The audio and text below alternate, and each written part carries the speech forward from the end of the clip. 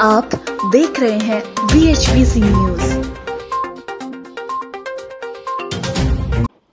नमस्कार, स्वागत है आपका। मेरा नाम है विपिन बेबाक। बुलडोजर एक्शन पर सुप्रीम कोर्ट की टिप्पणी के बाद अब सीएम योगी आदित्यनाथ और अखिलेश यादव के बीच जुबानी जंग जारी है।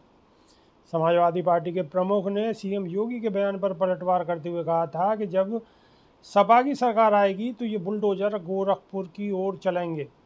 अब सीएम योगी ने उस पर पलटवार किया है तो अखिलेश यादव ने फिर जवाब दिया है।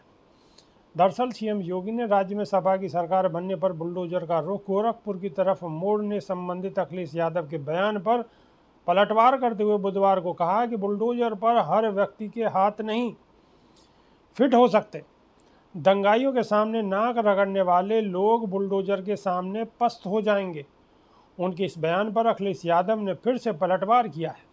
अखिलेश यादव ने कहा है कि किसी को बोलने से पहले की समाजवादियों के डीएनए में क्या है? कम से कम डीएनए का फुल फॉर्म तो बता दें।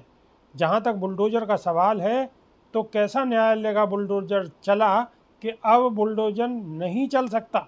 जो लोग बुलडोजर लेकर डराते थे जगह जगह लोगों के घर गिरा देते थे, क्या नक्शा मांगते थे?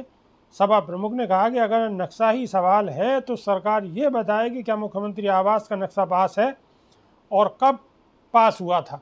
ये भी बता दें या कागज़ दिखा दें। इसका मतलब ये हुआ कि आपने जानबूझकर किया है, जिन्हें आपको नीचा दिखाना था और आपकी सरकार के हिंकार पर आपने जानबूझकर बुलडोजर चलाए हैं। बता दें, इससे पहले सीएम योगी ने कहा था कि अखिलेश यादव और उनके चाचा व पूर्व कैबिनेट मंत्री शिवपाल सिंह यादव की भेड़ियों से तुलना करते हुए आरोप लगाया कि वर्ष 2017 से पहले सरकारी नौकरी के नाम पर चाचा और भतीजा वसूली करते थे।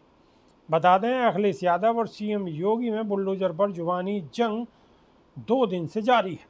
अभी के लिए सुविधा नमस्कार। रोज की ताज़ा खबरें सुनने के लिए सब्सक्राइब करें B H P C news channel साथ ही रोज के नोटिफिकेशन जानने के लिए दबाएँ बेल आइकन साथ ही हमें अपनी राय देने के लिए हमारी वीडियो पर कमेंट करके बताएँ और वीडियोस को लाइक और शेयर करना बिल्कुल ना भूलें।